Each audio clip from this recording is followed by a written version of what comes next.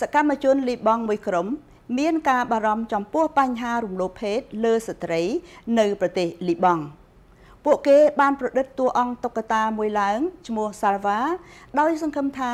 នឹងអាចអប់រំស្ត្រីឲ្យចេះទប់ទល់នឹងការរំលោភបំពាននេះ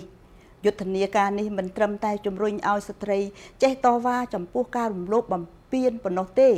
តែថែមទាំងអប់រំក្រុមគេឲ្យចេះកំណត់ថា សកម្មភាពអ្វីជាការរំលោភបំពានផ្លូវភេទលោកសឹងសុផាតជួនសេចក្តីរាយការណ៍រឿងនេះពីរដ្ឋធានី Washington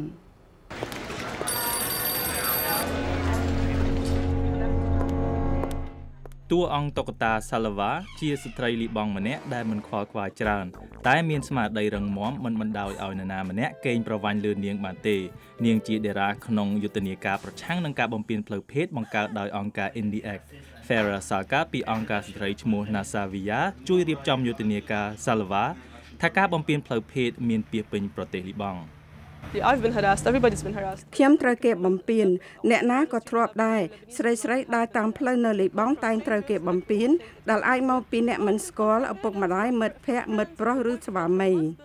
សកម្មជនលីបង់រៀបចំសិក្ខាសាលាយល់ដឹងអំពីការបំពានផ្លូវភេទដែលមានគោលដៅបង្រៀនស្ត្រីឲ្យចេះសម្គាល់ការបំពានផ្លូវភេទនិងហ៊ាននិយាយអំពីបញ្ហានេះ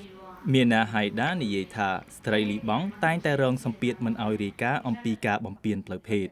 នាងត្រូវគេបំពានកាលពីអាយុ16ឆ្នាំ Not the sexual harassment itself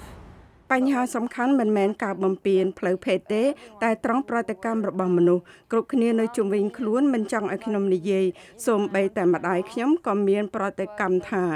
ជុជុកុំនិយាយពីរឿងនេះ ដែលធ្វើឲ្យខ្ញុំមានការភ្ញាក់ផ្អើលខ្លាំងនិងភ័យខ្លាច Nushik Ejemazian ពីអង្គការមូលនិធិសម្រាប់សិទ្ធិមនុស្សនិងមនុស្សធម៌និយាយថាមិនមានស្ថិតិបោះពុំផ្សាយពីករណីបំពានផ្លូវភេទនៅលីបង់ទេនិងក៏មិនមានការការពារផ្លូវច្បាប់ដែរចំពោះរឿងបំពានផ្លូវភេទនេះគ្មានច្បាប់ទេបើទៅប៉ុស្តិ៍ប៉ូលីសនៅលីបង់និងក្នុងតំបន់នេះគឺស្ត្រីនោះនឹងត្រូវគេស្ដីបន្ទោសដូចជា អូនាងជាដើមហេតុបានធ្វើអ្វីខ្លះស្លៀកពាក់ខើចមែនទេ អង្គការ IndieX ព្យាយាមផ្លាស់ប្ដូរផ្នត់គំនិតទាំងនេះសាលការថាតុក្កតា Salva Adventures នឹងត្រូវគេផ្សាយតាមទូរទស្សន៍និងកាសែតហើយសកម្មជនគ្រងនឹងបញ្ចុះបញ្ចូលរដ្ឋាភិបាលឲ្យបង្កើតច្បាប់ប្រឆាំងការបំពានខ្ញុំសឹងសុផាត VOA ខ្មែរផ្សាយតាមរយៈទូទស្សន៍ជាតិកម្ពុជា